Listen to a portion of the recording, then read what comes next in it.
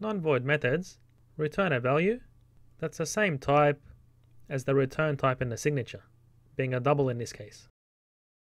So here we declare our object as a triangle with a base of 4.2 and a height of 1.0 using the parameterized constructor.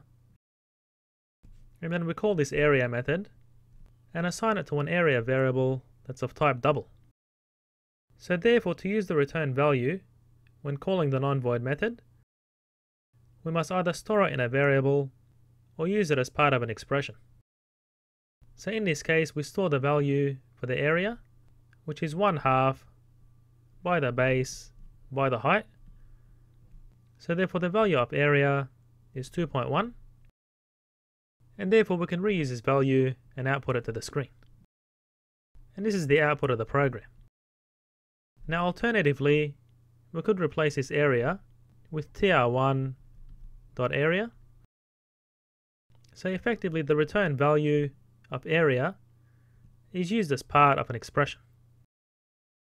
And you can see the difference to calc area, which is a void, and this void method returns no value. So therefore we can't write area is equal to tr1.calc area. Please subscribe, like and comment to help me reach more students.